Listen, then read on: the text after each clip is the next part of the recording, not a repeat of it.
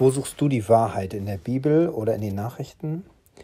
Also wir sind mit dem Fernseher groß geworden und haben uns ja daran gewöhnt, von klein auf die Nachrichten zu schauen.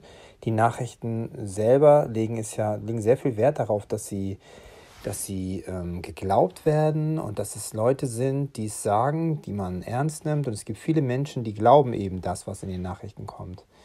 Und doch sollte jeder Gläubige sich fragen, ähm, wie oft sprechen Sie dort von Jesus? Ähm, und eine Sache, die noch wichtiger ist, ist eigentlich, dass uns klar sein muss, dass es im Gottesreich gibt und es gibt die Welt. Und Nachrichten ist nicht irgendein Graubereich, sondern es ist Welt.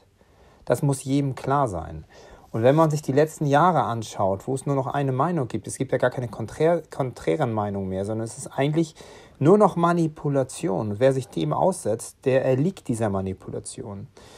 Also ich will einfach ein paar Gedanken weitergeben, zum Beispiel 1. Korinther 3, 19, denn die Weisheit dieser Welt ist Torheit bei Gott. Warum sollen wir auf menschliche Weisheit vertrauen, auf menschliches Wissen? Das ist falsch, es ist einfach falsch. Wir sollen der Bibel vertrauen und es, wir nehmen Gott die Ehre, wenn wir denken, dass wir irgendwo anderes, anders die Wahrheit finden dann vertrauen wir auf weltliche Autoritäten, obwohl im Psalm 146,3 steht, verlasst euch nicht auf Fürsten, auf ein Menschenkind, bei dem keine Rettung ist. Und ähm, diese Medien bewirken, haben wir in den letzten Jahren gemerkt, Angst und Sorge. Und dabei sagt Gottes Wort in Philippa 4, 6, 7, seid um nichts besorgt, sondern in allem lasst durch Gebet und Flehen mit Danksagung eure Anliegen vor Gott, vor Gott kundtun. Das heißt, wir sollen uns nicht vor den Apparat setzen und uns manipulieren lassen und ähm, Ängste unterstützen, damit wir mitreden können. Das ist ja auch so ein Ding. Das ist auch eine Art von Stolz, dass man mitreden muss, dass man ähm, nachreden muss, dass man aus Menschengefälligkeit ähm, informiert sein will und mit dabei sein. Das, das ist, viele haben auch, gucken auch Nachrichten aus Gier und Geilheit auf neue Informationen. Und man will ja ganz vorne top dabei sein bei den Informierten. Und man will ja wirklich äh, zeigen können, dass man informiert ist. Dabei reden sie alles nur das nach, was dort im Fernseher gesagt wird. Dann ähm, ist es ein, das, die Nachrichten sind ohne Gott. Das ist ein Konsumdenken, ein Materialismus. Dann ein, ein Beispiel, Matthäus 6, 19, 21. Sammelt euch nicht Schätze auf Erden, wo Motte und Rost zerstören und wo Diebe einbrechen und stehlen. Es ist die Fokussierung. Wer Nachrichten guckt, ist auf die Welt fokussiert und nicht auf Gott. Es führt letztlich wie Angst und Sorge zu Unbeständigkeit weil wir immer durch neue Informationen hin und her gewirbelt werden und nicht fokussiert sind auf Gott. Epheser 4,14 sagt, damit wir nicht mehr Unmündige sein, hin und her geworfen und umhergetrieben von jedem Wind der Lehre. Ähm, ja, dann kommen auch viele schlechte Informationen eben drauf und vieles Kriege und alles Mögliche. Und wir sollen auf Gott schauen. Wir sollen nicht auf das ganze Negative schauen, was darauf guckt, weil da, was, da, was da mitschwingt. Ähm, 2. Korinther 4, 8, 9 sagt, wir sind in allem bedrängt, aber nicht erdrückt, keinen Ausweg sehend, aber nicht ohne Ausweg, verfolgt, aber nicht verlassen, niedergeworfen, aber nicht vernichtet. Wir, ähm, die Gefahr ist immer in, in den Nachrichten, dass wir einen Pessimismus haben. Und äh, wenn wir auf Gott schauen, dann haben, sind wir immer Optimist. Und ganz schlimm ist eben diese Manipulation, dieser Konformismus, dass wir, ähm, dass durch die Medien alle so gleich geformt werden, die Menschen, weil sie alle das gleiche Wissen haben und das gleiche Denken haben. Denkstrukturen werden vorgeprägt. Und in Römer 12,2 sagt ganz klar, und stellt euch nicht dieser Welt gleich, sondern ändert euch durch Erneuerung eures Sinnes. Und ähm, diese Fernsehen und diese Nachrichten führen auch immer dazu, dass wir selbstzentriert sind. Dass wir uns immer fragen, was habe ich davon? In der Bibel steht immer, dass wir uns auf Gott zentrieren sollen und auf unseren Nächsten. Philippa 2, 3 bis 4 sagt, tut nichts aus Eigennutz und eitler Ruhmsucht, sondern in Demut achte einer den anderen höher als sich selbst. Und ganz schlimm ist eben auch diese Oberflächlichkeit.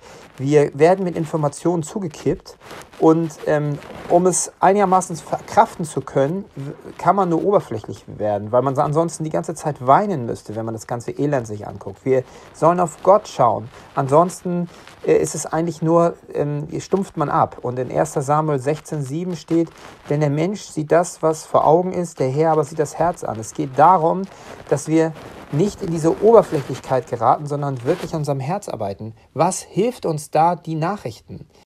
Und dieses Schauen aufs Fernsehen und so weiter, Das offenbart auch viele Irrtümer, nämlich zum Beispiel die Vernachlässigung des geistlichen Lebens. In Matthäus 6,33 steht, trachtet zuerst nach dem Reich Gottes und nach seiner Gerechtigkeit. Oder dass man abhängig wird von temporären Informationen. Jesaja 40,8, das Gras verdorrt, die Blume verwelkt, aber das Wort unseres Gottes bleibt ewiglich. Es ist auch die ewige Perspektive, die dort fehlt, nämlich 2. Korinther 4,18. Uns, die wir nicht auf das Sichtbare sehen, sondern auf das Unsichtbare. Wir machen falsche Prioritäten. Mit Matthäus 6, 24, dort wird gesagt, niemand kann zwei Herren dienen. Wir können nicht dem Nachrichten und unserem Gott dienen, sondern wir sollen auf, allein auf unseren Gott ausgerichtet sein. Dann ähm, führt letztlich auch dieses, diese Nachrichten dazu, dass wir ins Zweifeln kommen. Ähm, Jakobus 1,8 sagt, ein Zweifler ist unbeständig auf all seinen Wegen weil wir immer mit weltlicher Sichtweise konfrontiert werden und einfach ja, uns einüben müssen, mindestens einüben müssten, dass wir diesen Lügen immer die Wahrheit gegenüberstellen. Das tun aber viele nicht und deswegen glauben sie das, was ihnen als manipulierte Lüge äh, gegeben wird. Diese Nachrichten ignorieren Gottes Wahrheit. Und ähm, Johannes 17, 17 sagt, heilige sie in der Wahrheit, dein Wort ist Wahrheit. Ähm, es gibt auch so diesen Herdentrieb und ein falsches Sicherheitsgefühl. Lukas 12, 19, 20 sagt, du nah, diese Nacht wird man deine Seele von dir fordern. Dieses, diese Nachrichten geben uns dieses Herdengefühl, wir sind ja in Sicherheit. Wenn wir alle die gleiche Meinung haben, können wir ja nicht falsch sein.